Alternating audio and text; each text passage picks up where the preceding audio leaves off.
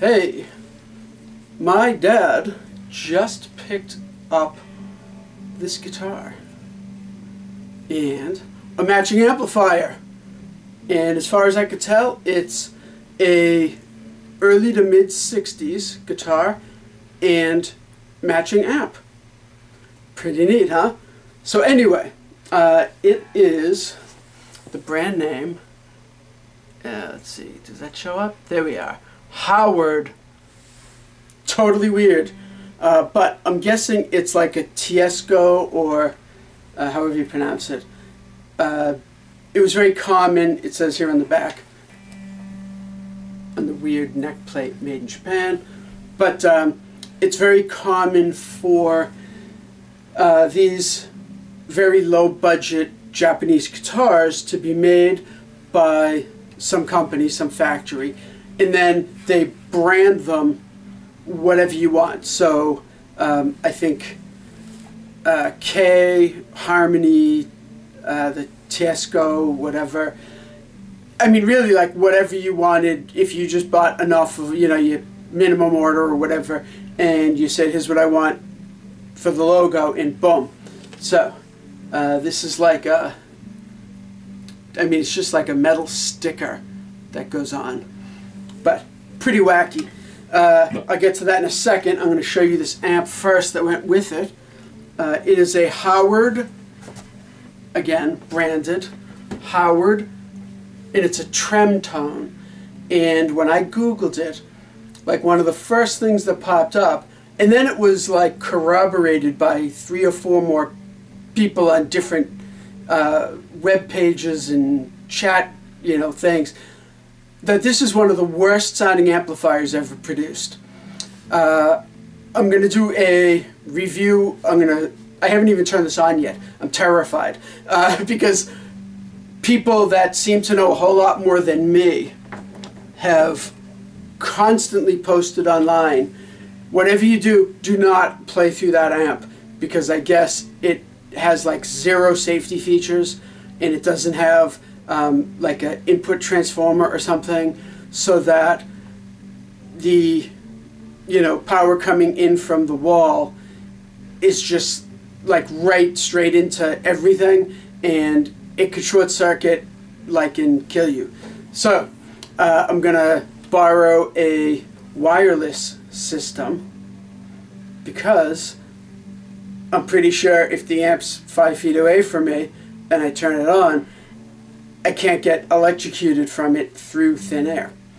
So anyway, uh, so we have this guitar, and uh, I mean it's you know a cheap Japanese guitar.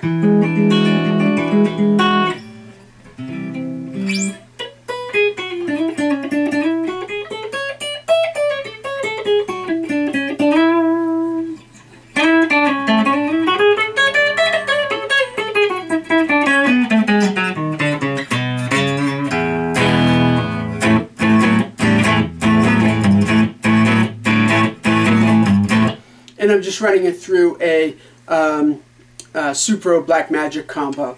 Uh, so you know, it's it's a it's a nice tube combo. But I mean, it sounds okay. You know, it's nothing great. It has like that weird kind of bridge that when I change the strings, it isn't attached or anything. It's just like just you know sitting there. But.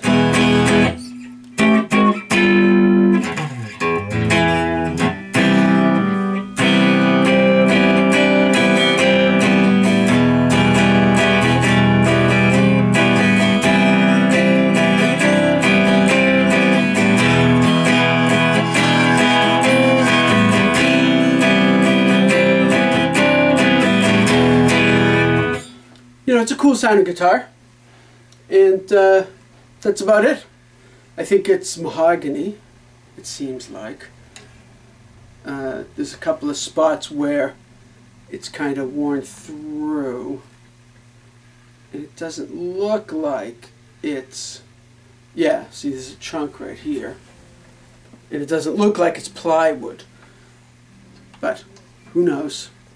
And it has, you know, this little gold foil pickup dealy and that's about it. So, it's kind of cool, kind of interesting. Um, a cheap, excuse me, a cheap uh, beginner guitar from the 60s. And uh, I'm going to do a video on the amp when I get that wireless thing and uh, work up the courage to, to do that. Uh, uh, the on the on switch is actually the tone knob.